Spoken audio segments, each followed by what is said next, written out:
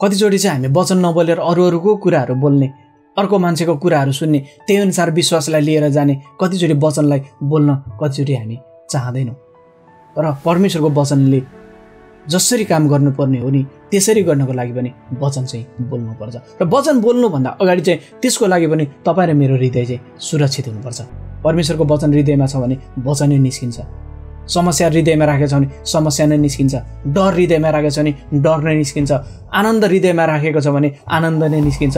परमेश्वरको वचन चाहिँ हरेक कुराहरू बोलेर नै हुन्छ।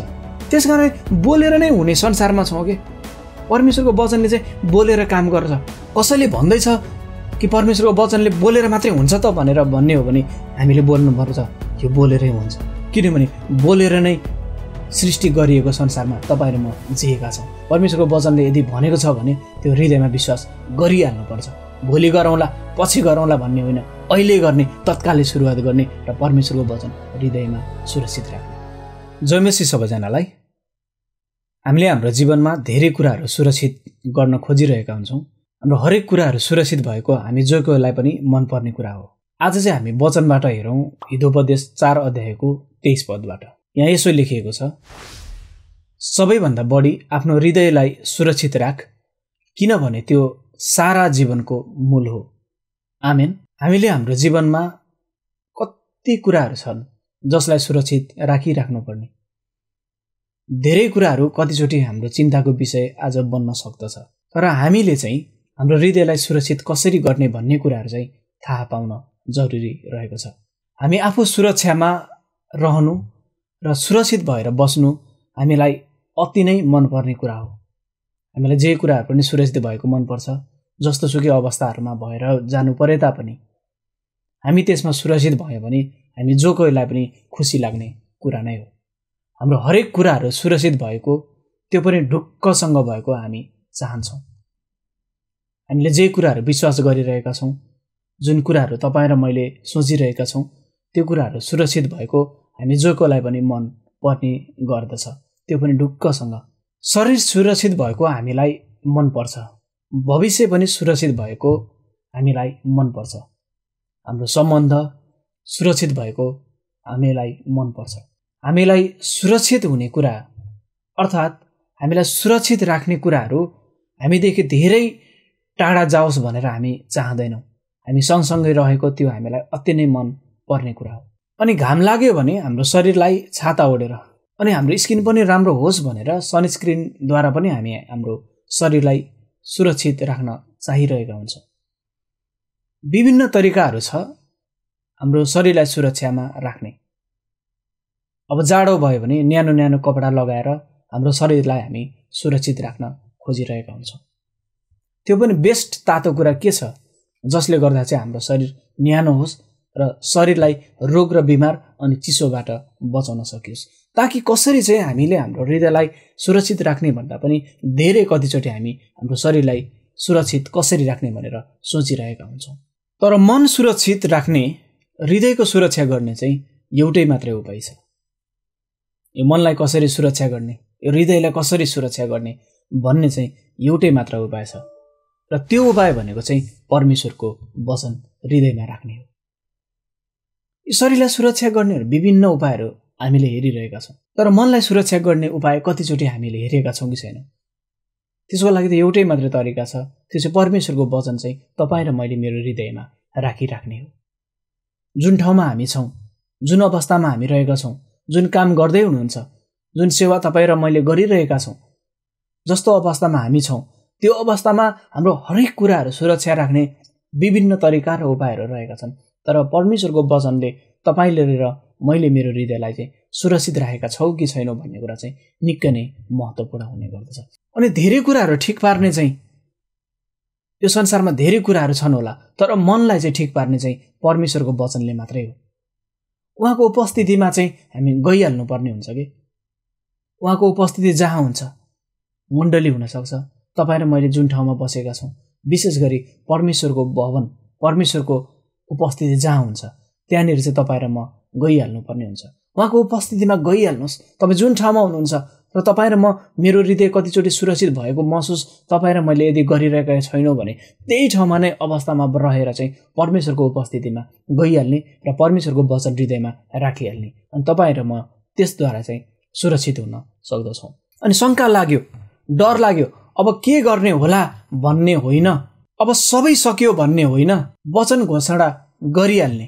अनि मनलाई सुरक्षित गरिराख्ने। कतिचोटि तपाईँ र म मान्छे भएको कारणले गर्दाखेरिमा डरहरू नआउने होइन शङ्काहरू नआउने होइन जे कुराहरू पनि तपाईँ र म मान्छे भएको कारणले गर्दाखेरि यो हुन सक्दछ। तर परमेश्वरको वचनले चाहिँ तपाईँ र मेरो हृदयलाई सुरक्षित राखेको छ भने ती अवस्थाहरूबाट हामी आत्तिनु पर्दैन। किनभने तपाईँ र मलाई चाहिँ सुरक्षा राख्ने परमेश्वरको वचन जीवितै छ। आमेन। त्यस कारणले गर्दाखेरि त्यो जिउँदो वचन त्यो जिउँदो वचनलाई चाहिँ तपाईँ र मैले यदि यो हृदयमा सुरक्षित राखिरहेका छौँ भने नै तपाईँ र मेरो जीवनहरू जीवित भएर आउँछ। तपाईँ र मैले गरेको सेवकाईहरू तपाईँ र मेरो भविष्यहरू हरेक कुराहरू चाहिँ सुरक्षित रहनलाई निश्चित रहेको छ। यो त हुन्न होला यो त म गर्न सक्दिनँ होला यो समस्या त परमेश्वरले हटाउनु हुन्न होला भन्ने होइन। हामीले आशाको परमेश्वरलाई धन्यवाद दिने अनि आशा चाहिँ बोलिराख्ने जहिले पनि तपाईँ र मेरो जीवनको बोली चाहिँ आशा हुनुपर्छ समस्या होइन तर समाधान बोल्नुपर्ने हुन्छ। कतिचोटि क्रिस्चियन भएर पनि समस्या मात्रै बोलिरहेको हामी कतिचोटि थाहा पाउँछौँ तर समस्या बोल्ने होइन तर समाधान बोल्ने। यस कारणले गर्दाखेरिमा भजन सङ्ग्रह एकानब्बेको दसले हामीलाई के भन्दछ त? तिम्रो अनिष्ट हुने छैन तिम्रो घरको नजिक कुनै विपत्ति आउने छैन। यदि भजन सङ्ग्रहको पुस्तकले हामीलाई तिम्रो अनिष्ट हुँदैन विपत्ति कुनै पनि तिम्रो घरको वरिपरि आउँदैन। यदि भनेर भनेको छ भने चाहिँ तपाईँ र मैले चाहिँ विश्वास गर्नुपर्ने हुन्छ। मेरो घरको नजिक विपत्ति आउँदैन भनेर। म सुरक्षित छु भनेर तपाईँ र मैले विश्वास गर्नुपर्ने हुन्छ। मेरो अनिष्ट हुन सक्दै सक्दैन भनेर चाहिँ हामीले भन्नुपर्ने हुन्छ। मनमा वचन राखेको राखे गर्ने अनि हृदय सुरक्षित बनाउने। मेरो अनिष्ट हुँदैन भनेर लेखेको छ भने यसको मतलब तपाईँ र मेरो अनिष्ट हुन सक्दैन। तपाईँ र म सुरक्षित छौँ। यसको मतलब परमेश्वरको वचनले भनेको छ भने यसको मतलब चाहिँ सुरक्षित नै छौँ भनेर हामीले विश्वास गर्नुपर्ने हुन्छ। कति मान्छेले भन्छ भन्छ होला तेरो खत्तम भएर जान्छ तेरो अनिष्ट हुन्छ तेरो नराम्रो हुन्छ। विपत्ति अब तेरो जिन्दगीमा नआउने होइन। आउँछै आउँछ भनेर भन्छ होला। तर वचनले चाहिँ तपाईँहरू मेरो जीवनमा के भन्छ? मान्छेले के भन्दैछ भन्ने कुरा होइन। तर परमेश्वरको वचनले चाहिँ के भनिरहेको छ? जे परमेश्वरमा लेखिएको छ। के भनिएको छैन होइन? के लेखिएको छ? मान्छेले के भनिएको छ भन्ने कुरामा सुनिरह्यो भने नि त्यही अनुसार विश्वास आउँछ। अनि त्यही अनुसार तपाईँ र मेरो जिन्दगी चाहिँ असुरक्षिततर्फ जान खोज्छ। तर परमेश्वरको वचनमा चाहिँ के लेखिएको छ? जे लेखिएको छ त्यो तपाईँ र मैले घोषणा गर्ने हो। त्यही वचनलाई घोषणा गर्ने जुन वचनले चाहिँ तपाईँ र मेरो जिन्दगीलाई सुरक्षित बनाउँछ। तपाईँ र मेरो हृदयलाई सुरक्षित बनाउँछ। त्यो कुरालाई हामी घोषणा गर्नुपर्ने हुन्छ। वचनलाई चाहिँ ओठबाट टाढा हुनै नदिने के? जे समस्या आउँछ नि जे कुराहरू तपाईँ र मेरो जिन्दगीमा कतिचोटि हामीले सोचेको भन्दा बाहिरको कुराहरू हुन आउन थाल्ने बित्तिकै चाहिँ तपाईँ र मैले मेरो ओठलाई चाहिँ हामीले वचनबाट टाढा राख्नु हुँदैन। किनभने त्यही समय नै हो वचनले तपाईँ र मेरो जिन्दगीमा काम गर्न थाल्ने। अनि त्यही समयमा नै तपाईँ र मैले चाहिँ यदि वचनलाई प्रयोग गरिरहेको छैन भने हाम्रो ओठबाट समस्याको कुराहरू मात्रै निस्किरहेको छ भने त्यो समयमा वचनले केही पनि काम गर्न खोज्दैन। तर तपाईँ र मैले चाहिँ जहिले पनि परमेश्वरको वचनलाई चाहिँ ओठबाट निकालिराख्ने समस्या होइन समाधान बोलिराख्ने हो भने यो हृदयबाट चाहिँ परमेश्वरको वचनहरू निस्कन थाल्छ। र त्योभन्दा अगाडि चाहिँ सबैभन्दा पहिला चाहिँ आफ्नो हृदयलाई सुरक्षित राख्नु पर्ने हुन्छ। परमेश्वरको वचन हृदयमा राखिरहेका छौँ भने चाहिँ नि जहिले पनि चाहिँ घोषणा गरेकै गरे गर्ने के? परमेश्वरको वचनले के भन्छ? त्यो घोषणा गरिदिने। कतिचोटि हामीलाई अभाव हुन्छ भने भजन सङ्ग्रहको तेजले के भन्छ? परमप्रभु मेरो गोठालो हुनुहुन्छ मलाई केही कुराको अभाव हुँदैन भनेर यदि परमेश्वरको वचनले भनेको छ भने यसको मतलब चाहिँ तपाईँ र ममा कुनै पनि अभाव हुँदैन भनेर घोषणा गर्ने। अनि परमेश्वरको वचनले तपाईँ र मेरो हृदयलाई सुरक्षित गर्नु पर्ने हुन्छ। अनि मात्रै चाहिँ वचनले काम गर्न थाल्छ कि? यसरी चाहिँ हामीले वचनलाई प्रयोग गरेको गरेँ। हाम्रो ओठेबाट निकालेको निकाले परमेश्वरको वचनलाई हो भने अनि वचनले पनि काम गर्न थाल्छ। तपाईँ मैले जे कुरालाई विश्वास लिएका छौँ त्यो कुराहरू हुन थाल्छ। रोकिएको कुराहरू बन्न थाल्छ। यस कारणले तपाईँ र मैले चाहिँ एउटै मात्रै उपाय हो परमेश्वरको वचनलाई हृदयमा सुरक्षित राख्ने। अब दिन प्रतिदिन सबैको उमेर ढल्किँदै पनि छ। दिन प्रतिदिन सबैको उमेर चाहिँ अब बिस्तारै बिस्तारै गइरहेको पनि छ। अनि अब हाम्रो बोली चाहिँ बुढेसकाल लाग्यो। अब के गर्ने? अब के गर्ने हो र? अब सबै पनि सकिसक्यो। अब उमेर पनि ढलिसक्यो। समय पनि बितिसक्यो। अर्थात् भन्नुपर्दा त अब हुनेवाला केही पनि छैन भन्ने होइन।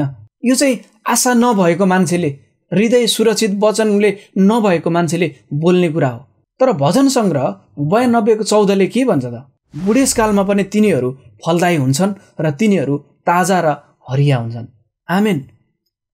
जतिसुकै उमेर ढल्दै गए पनि जतिसुकै तपाईँ र मेरो अवस्थाहरू अब बिस्तारै बिस्तारै अब सबै कुराहरू फेरिँदै गए तापनि तपाईँ र म आत्तिनु पर्दैन।